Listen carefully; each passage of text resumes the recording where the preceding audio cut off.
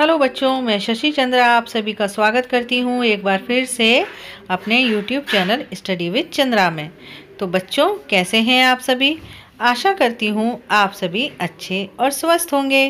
तो बच्चों, जैसा कि आज आप स्क्रीन पर देख रहे हैं, बुद्धिमान दादी, यानी होशियार दादी, आज हम इस कहानी को पढ़ेंगे और समझेंगे और मज़े करेंगे। तो ये जो कहानी है, आपकी जो गणित की बुक है, पहली कक्षा की मैथ का जादूगर उसके पहले चैप्टर से ली गई है। तो चलिए शुरू करती हैं ये कहानी।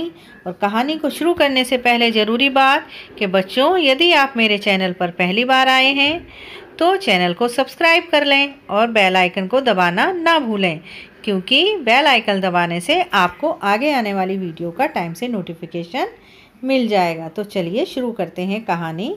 बुद्धिमान दादी। एक मेमना था। ये रहा वो मेमना। वह अपनी दादी माँ से मिलने जा रहा था। कहाँ जा रहा है ये? दादी माँ से मिलने। जंगल के रास्ते में उसे एक भेड़िया मिला। कहाँ है भेड़िया? देखो, भेड़िया, ये रहा ये रहा भेड़िया। और ये है मेमना। देखो, भेड़िया के दिमाग में क्या आ रहा है? भेड़िया के दिमाग में आ रहा है, ये एक हड्डी बनी हुई है कि अगर ये मेमने को खा जाएगा तो ऐसे इसकी हड्डियों को चबाएगा। तो देखो अब भेड़िया क्या कह रहा है इस मेमने से? मैं तुम्हें खाने जा रहा हूँ। क्या कह रहा है भेड़िया? मैं तुम्हें खाने जा रहा हूँ। तो अब देखो ये मेमना क्या कह रहा है? ये डर गया और क्या कह रहा है? कृपया मुझे जाने दो। मैं अपनी दादी माँ से मिलने जा रहा हूँ। जब मैं वापस आऊँ तो मुझे खा लेना। ये देखो, ये मेमना सोच रहा है। यानी इस भेड़िए से कह रहा है। तो भेड़िया क्या कहता है? अच्छा तुम जा सकते हो। भेड़िया कहता है, ठीक है, तुम अपनी दादी माँ के यहाँ चले जाओ। जब वापस आओगे, तभी मैं तुम्हें अब खा लूँगा। तो अब जब वह लौटने लगा, जब ये बच्चा वापस लौटने लगा अपने घर की तरफ़ तो उसने दादी माँ को भेड़िए के बारे में बताया। देखो, ये है इसकी दादी माँ। इस मैम ने की। तो ये मेमना अपनी दादी माँ से कुछ बता रहा है। तो दादी माँ ने उसे एक उपाय सुझाया।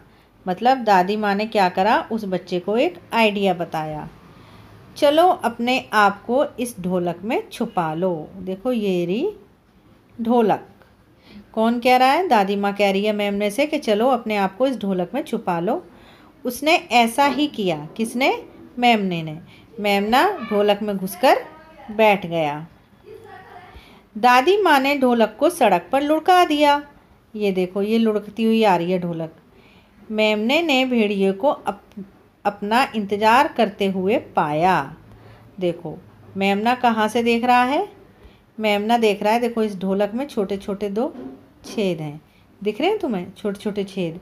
इनमें से वो झाँक के देख रहा है कि भेड़िया तो रास्ते में मेरा इंतज़ार करते हुए बैठा है। अब भेड़िया क्या कहता है इस ढोलक से? क्या तुमने किसी मेमने को इस तरफ़ आते देख, देखा है? तो अंदर से आवाज़ आती है ढोलक के। नहीं। भेड़िए को शक हो गया। भेड़िए को शक हो गया और वह ढोलक के पीछे पीछे दौड़ने लगा। ये देखो, ढोलक तो आगे आ रही है लुढ़कते लुढ़कते और उसके पीछे आ रहा है दौड़ता हुआ भेड़िया और ये मेमने का घर भी आ गया। इससे पहले कि भेड़िया उसे पकड़ पाता। किसे? मेमने को। मेमना अपने घर पहुँच गया और उसने दादी माँ को धन्यवाद दिया। ये देखो, मेमने ने अपने गेट का घर का दरवाज़ा भी बंद कर लिया और मेमना यहाँ से खिड़की में से झाँक के देख रहा है। और ये जो भेड़िया है, ये बाहर झाँक, बाहर से देख रहा है कि इस मेमने ने तो इसको बेवकूफ़ बना दिया। ठीक है, ये थी स्टोरी अब करते हैं इसकी एक्सरसाइज आकृतियाँ, ये क्या हैं? आकृतियाँ। एक जैसे आकार की आकृतियों का मिलान कीजिए। अब आपको एक जैसी आकृतियाँ यहाँ पर दिख रही हैं। सारी त्रिभुज की आकृतियाँ हैं ये। कौन सी आकृतियाँ हैं? त्रिभुज की। ये देखो, ये सारे त्रिभुज बन रहे हैं इसमें।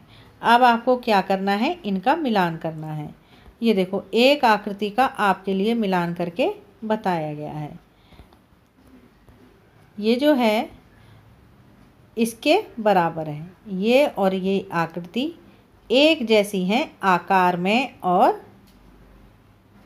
मतलब आकार में। ये और ये दोनों आकृति बराबर हैं और ये आकृति इसके बराबर है। आपको ऐसे मिलान करना है। फिर उसके बाद अब देखते हैं। जो ये वाली आकृति है, वो इसके बराबर है। ठीक है, ये आकृति इसके बराबर है और जो ये वाली आकृति है, ये किसके बराबर है? ये है देखो यहाँ, छोटी सी एक आकृति बन रही है। ये देखो, दिखा देते हैं। ये देखो, ये आकृति है इसके बराबर। ठीक तो आपको ऐसे ये आकृतियाँ मिलानी हैं। ये पहले से दी गई है बुक में। देखो, ये वाली आकृति पहले से दिखाई गई है मिला के।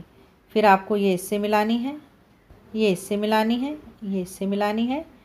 और ये वाली आकृति आपको इससे मिलानी है। ठीक है? अब देखते हैं अगला। अगला भी है, एक जैसी आकृतियों को मिलाओ। तो अब आपको इसमें भी एक जैसी आकृतियाँ मिलानी हैं।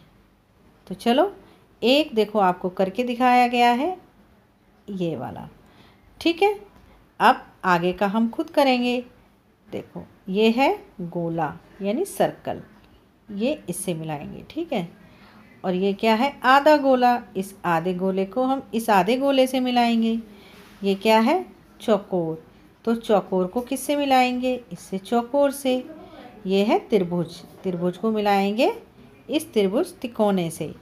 और ये क्या है? आयताकार है। तो इसको भी इससे मिलाएँगे। ठीक है? और ये वाली आकृति किससे मिलेगी? इससे। ठीक है? आप चाहो तो इनको अलग अलग कलर से भी मिला सकते हो। देखो। मैं आपको एक दो मिला करके दिखाती हूँ। ये लाल वाला इससे मिला लो। ठीक है? अब देखो, पीला वाला इस पीले कलर से ये मिला लो। ठीक? और ब्लू कलर से आप ये मिला लो। ठीक? इससे क्या होता है? अलग अलग आराम से दिखाई देता है। इससे ये मिला लो। ठीक? फिर एक और कलर ले लेते हैं। अब ये रह गया। इससे ये मिला लेते हैं। ये मिल गई आपकी सारी आकृतियाँ। तो चलो, अब वीडियो को लाइक भी ज़रूर कर दो।